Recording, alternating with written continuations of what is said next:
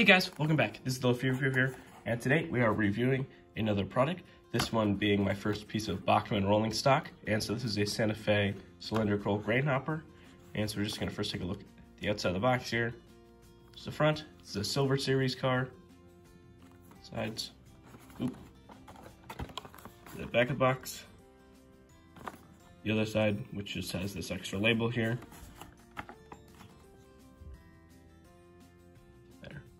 Yeah, it just talks about the, how this is not meant for children under a certain age. This, and then here's the tag. And so it's item number 19102. And so it's technically a Canadian cylindrical grain hopper, but let's get it open right now.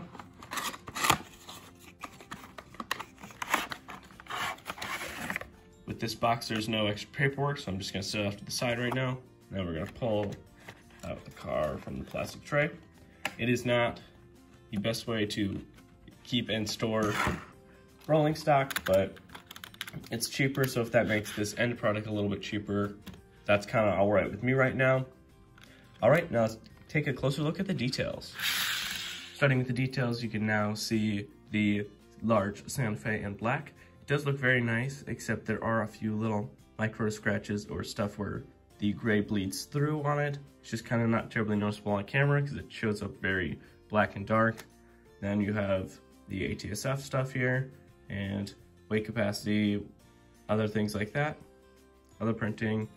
then the printing over here is a lot smaller and then later I'm going to take a closer look at the small printing here and then there's also some small printing down below down here.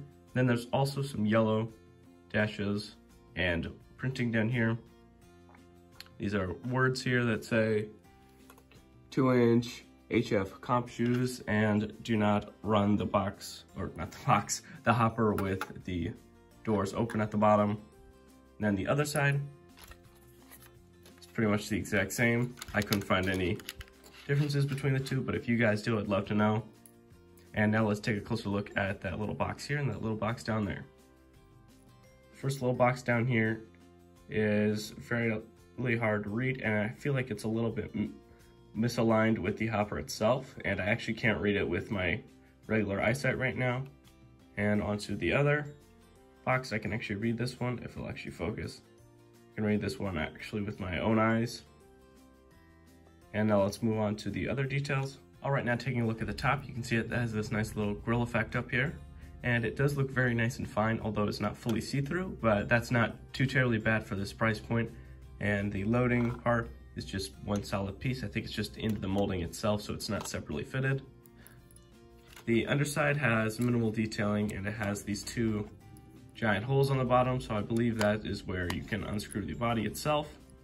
And so then you have your typical Bachmann black trucks with their insulated steel wheels, I believe they're steel. And then you have the housings for the E-Z Mate 2 coupling and you just have these little two tabs down here. I don't know if these are actually supposed to be here or this is something for the molding itself. I believe that these two things are seam lines, and so down here there's the little Bachmann logo itself. And the, de the details on the wheels are not fully back modeled, so they're only modeled on the front. So I try to get that focus for you guys. So it's not the full high level of modeling that you can expect from other things. I think it was a Bowser card that I have has this detailing. And so this was around for the same price point. It was just a little bit smaller. But moving on to the ends themselves, they have this large little hole in them. I don't know exactly what that's for. They also have some nice yellow printing up there. And the ladders and the other stuff is a little bit chunky, but I feel like that makes it a lot more sturdy, so it's gonna last you a lot longer in case you drop this. And this side has all the air brakes as well as the brake wheel. And this looks very fine and very nice. You guys a side angle of that. So you can see all the stuff inside of there. That just about sums up all of the details that I could notice. And if there's any other finer ones that you guys notice, I'd love to know. And so now let's move on to performance. All right, now we'll test how free rolling the cards itself by going over the double set of switches here. And so most of my cars can fairly easily roll over the set of two. But I feel like this car is actually a little bit on the more tight side, so it doesn't roll as freely. which is kind of interesting because most cars just glide right through this area, but this one just keeps getting stuck, so I don't know what's up with that. And even if I put it just straight forward, it just comes to a stop pretty easily. Which is kind of interesting compared to how free rolling some of my other Walthers cards are. But now let's do a coupling test. For its first test, we're just going to back it up into this Athearn boxcar here. And so I'm just gonna do this by hand, push it in, see where they lock. This one is a little bit higher than the Athearn, but I believe the Athearn is just a little bit lower than most of my other cars, so it's about normal with most of the knuckle coupler cars I have. Now let's couple it up on the other end. On the other end, we have a Proto 2000 Erie built, and so just gonna back that up now and see how well it goes.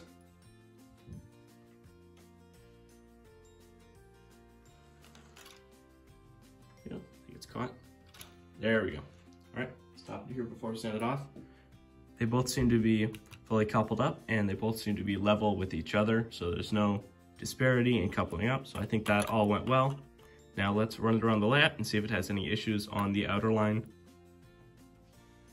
Okay, send her off.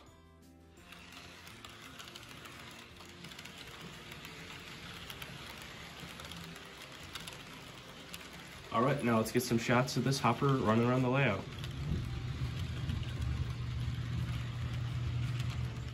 This is the first video after the lad has been de-Christmasified, and so there's less stuff for the hopper to get caught on, and it's still performing fairly well. And it's rolling smoothly and not rocking around too much on the rails, unlike some of my other cars.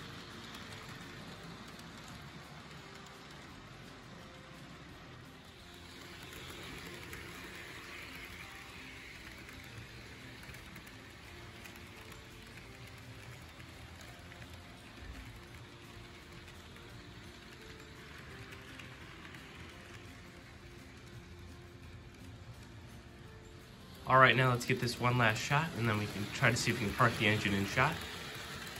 And then we'll sum up the rest of this video.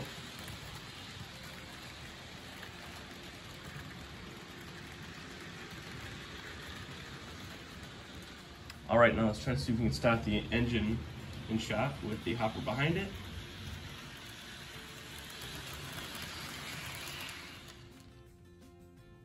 Almost. Give it a little. There we go. All right, now let's move on to the ratings. Now, moving on to the ratings.